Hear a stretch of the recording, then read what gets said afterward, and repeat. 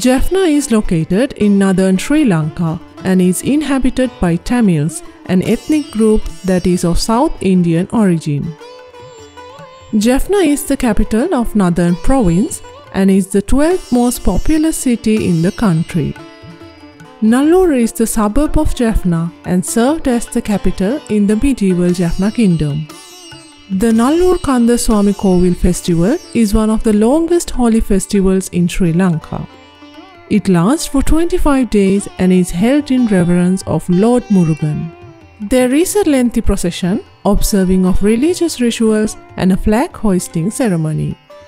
The festival is sacred to Hindu devotees and largely attracts locals to share in this brightly colored and glowing event.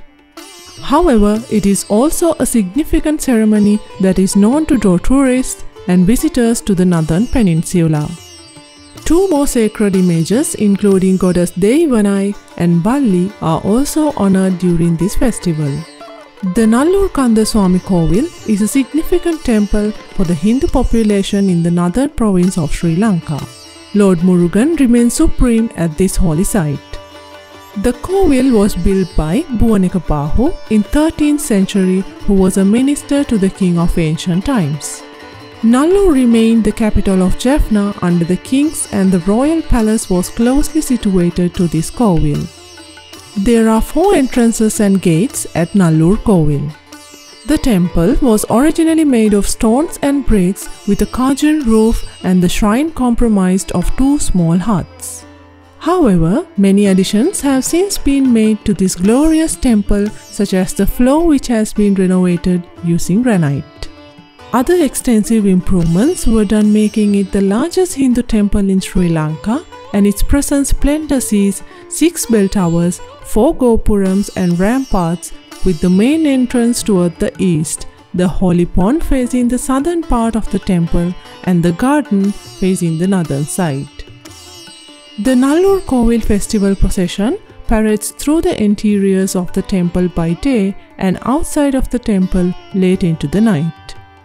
The Lord Murugan is reverentially carried in a ceremoniously decorated vehicle from the start to the end of the festival in the form of silver and green peacocks, swan and cobra, animals that are considered to be hallowed. A chariot festival is the culmination of the commemoration amidst the repeated chanting and drumming. The Kavadi dancers are a sacramental sacrifice offered by devotees during the reverence of Lord Murugan. The dance depicts death oppression. The word Kavadi refers to a physical burden that is used by festival goers to beseech their god in offering them healing, supplicating for their loved ones and bonding them spiritually. During the Kavadi dance, devotees hurl coconuts at the ground and on themselves to demonstrate their true dedication in honor of their faith. The flag hoisting ceremony is the start of the Nallur festival and the 10 days following this occasion will see numerous religious events and pujas takes place. You will witness many elaborate activities during the next 10 days with the pinnacle event being the Chariot Festival also referred to as Ther Festival. Males above the ages of 3 must be bare-chested when visiting the temple during the festival as a token of their respect, while females should adorn long dresses that cover their legs and have their hair properly tied. You cannot wear shoes inside or outside the temple and should be left at the sandy forecourt. It is a unique temple and the interiors and exteriors are beautifully decorated. The priests open the doors by 4.30 in the morning and the lamps are lit and the deities are worshipped.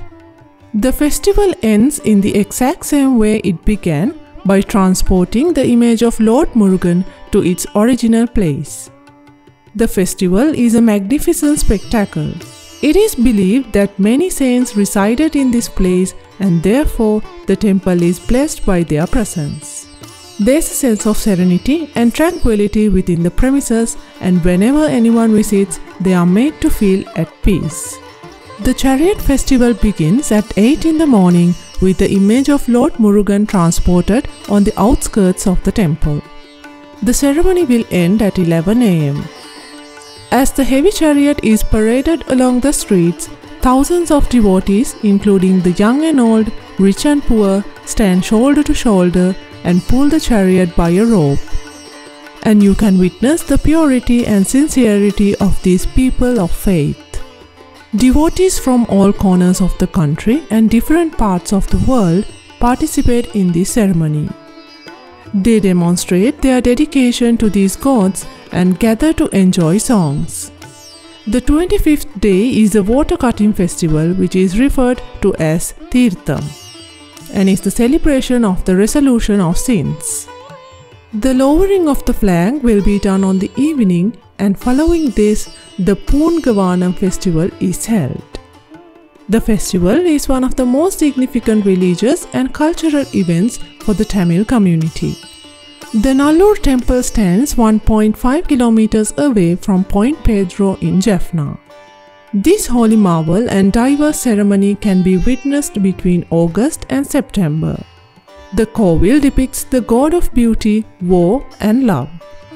This majestic temple has reigned for centuries and encapsulates peace that can be wholly experienced in the most heavenly of places.